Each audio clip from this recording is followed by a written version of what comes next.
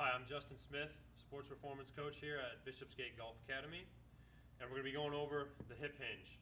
So, our students ask us all the time, why are we doing this funny looking movement that doesn't really make sense? I don't really get it. Why are we going to use this? Well, you use the hip hinge in everyday life and in sporting, in, in all sports, and in the gym all the time. So, what does the hip hinge look like?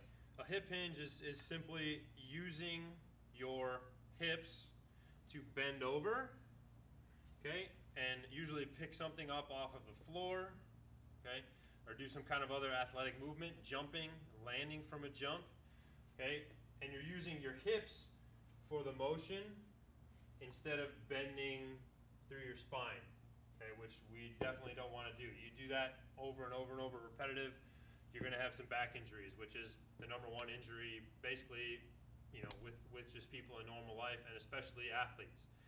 So what the hip hinge looks like is, and how we teach it is we're going to use a stick or a dowel rod right on our back. And we're going to have it on the back of our head, in between our shoulder blades, and right on our tailbone. It has to have those three points of contact the whole time. If we lose any of those three points of contact, or my neck, that means I'm bending through my spine and I'm not using my hips. So I'm gonna stand up nice and tall, my feet are underneath my hips. I'm gonna have a little bend in my knees. Then I'm gonna shift my weight back, my chest comes forward. I'm gonna stop at about 90 degrees or maybe a little bit above. And then I'm gonna stand back tall. I'm gonna be nice and long through the spine, soft knees. Sit back with the hips so my weight is shifting backwards, my chest comes forward, and then I come up. So from the front view, I'm up tall, little bend in the knees, shift my weight back. I usually cue people to touch your hips to the back wall or whatever's behind you, and then stand straight back up. When do we use this? Okay, you're out on the course, okay, you just made a hole in one.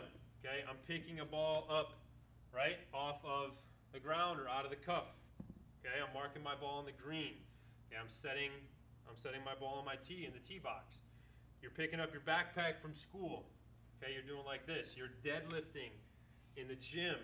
Okay, you're squatting in the gym. There's so many things that we use this hip hinging motion for. And if you can do it correctly and use the right joints and the right muscles, you're going to prevent a lot of back injuries for yourself in the future.